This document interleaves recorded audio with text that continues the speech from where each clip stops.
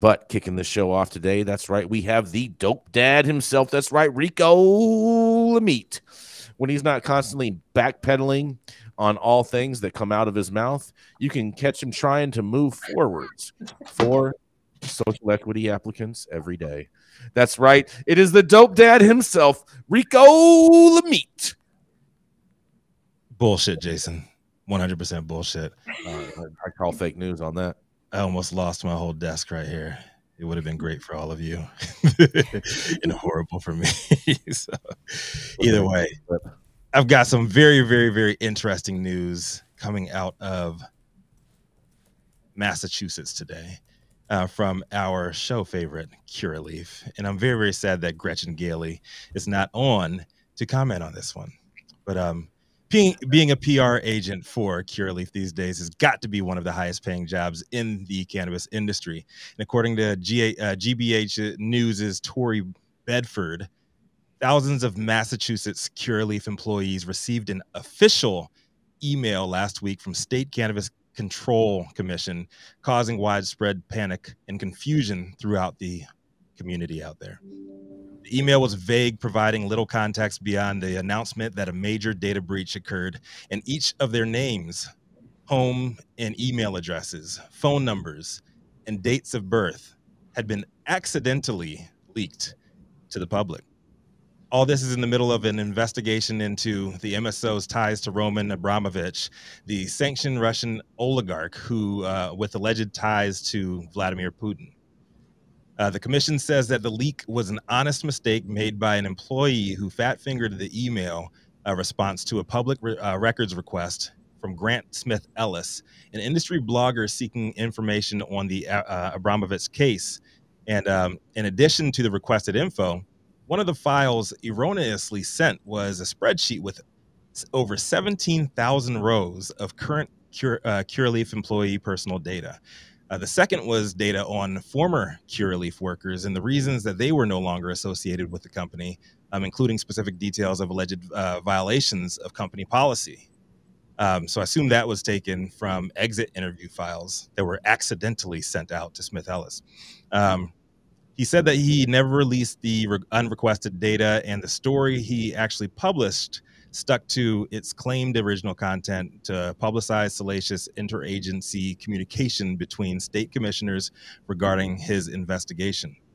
But two days later, Smith Ellis and uh, the story's co author, Eric Casey, say that they were contacted in, uh, by panicked agency officials requesting that they redact certain parts of the story due to safety concerns and leaving the information up would be would put certain people at the agency at risk and certain people at Curaleaf at risk. Uh, naturally, the journalists asked for further details as to how serious the potential blowback on the story uh, or the leak could be, uh, but that request was denied. Smith Ellis and Casey said that safety is something that they really do care about, so they actually deleted the post in its entirety. And then he said in a statement to GBH, uh, GBH News, it would be very nice to get some answers. I think that if there's a threat here to an agency of the state government bigger than just those staff members in that agency. This is about the United States of America and the integrity of its republic. If it was if it was attacked, I want to know. He then claimed that after being asked by professors to avoid campus out of an abundance of caution, he went on a temporary hiatus from New England law where he had been attending classes and is currently holed up in a undisclosed location at a safe house until things boil over.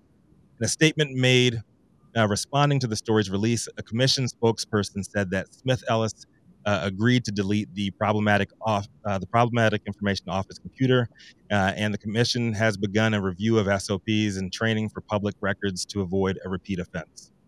After confirming the accuracy of Grant Smith Ellis's story as told, they offered a few soothing words to all parties harmed.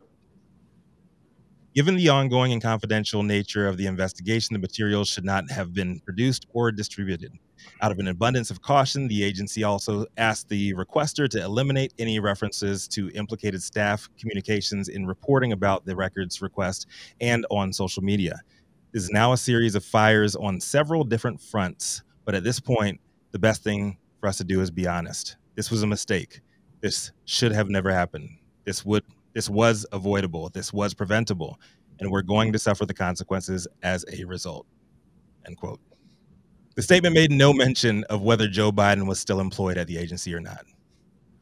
I'm sure the thousands of exposed Curaleaf employees feel a whole lot safer now uh, after being doxxed by an agency tasked to keep you, your colleagues, and consumers of the products that you sell safe.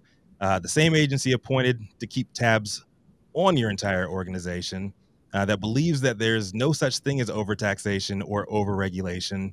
Uh, in the middle of investigating the guy who funded your company, who just so happens to be sanctioned uh, a sanctioned Russian oligarch with alleged ties to an international war criminal. It's okay. Everything is fine. Uh, I guess the silver lining here is Curaleaf, uh, Massachusetts, is now unionized as of last at the end of last year. So uh, we'll we'll soon see or hear a statement from the UFCW Local 328.